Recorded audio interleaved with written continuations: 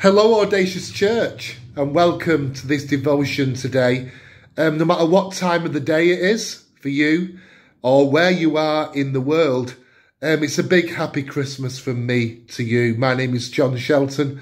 I'm one of the area pastors at Audacious Central, and it's a delight to be part of the team bringing these devotions to you over this Christmas period, um, just delving into the treasure that is still there for us to find in this familiar story. And yesterday we heard from Paula Dring, and she talked about how the shepherds, the people with possibly one of the most lowliest jobs on the planet, were the first people to hear the about the joyous birth of Jesus. And we heard how um, rather than run away in fear or just hide away in just confusion, they decided to take the angels at their word and they um, actually put one foot in front of the other. They had faith, if you like, that what the angels were saying was true. And you can just imagine them, can't you, running down the hill in the pitch black, um, looking for um, the baby Jesus in the manger. And this is where we pick up our story for today.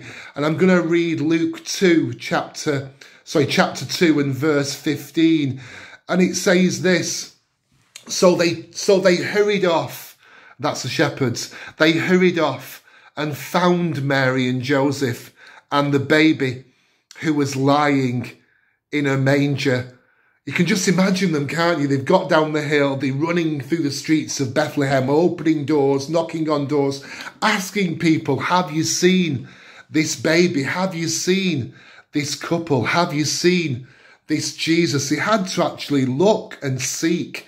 And because they kept on looking, because they kept on asking, because they kept on knocking, if you like, then eventually they did indeed find the promise that the angels had talked to them about.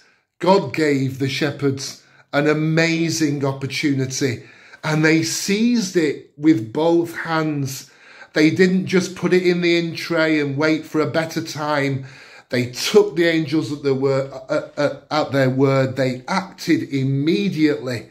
They went down to Bethlehem. They searched and they found the promised Saviour. They found the manger and all the promise that was wrapped up in it. So I suppose the message for today is the fact that Jesus has a promise for you and for me. He has a promise for all of mankind. When he died and when he rose again, he died, he lived and died to give us life in all its fullness and everything we need to enjoy and everything we need for our purpose in our life is wrapped up in the person of Jesus Christ. And all we need to do is seek Him and ask Him and look for Him and knock for Him and keep on searching for Him.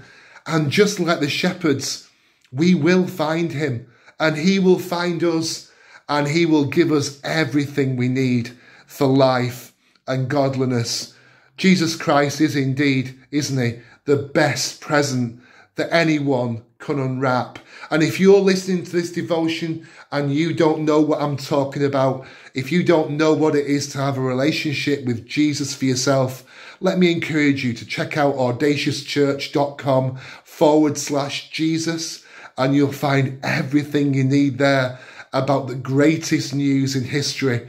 If, like me, you have said yes to Jesus and you are on that journey, there is still so much more to find.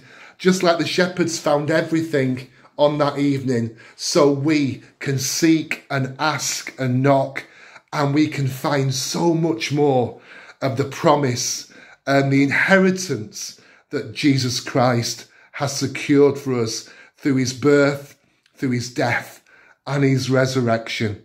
So as we come to the end of this devotion, let's just say a prayer together wherever you are. Lord, we thank you for the shepherds. We thank you for their obedience. We thank you for their tenacity. We thank you that they sought and they found. And we thank you so much that they were the first people to know the news. Help us to seek you this Christmas And we know that if we seek you, we will find you if we seek you with all our hearts.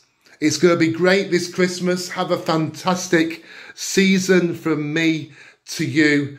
Don't forget to join in again tomorrow for the next chapter or the next verse in the greatest story ever told. Happy Christmas to you.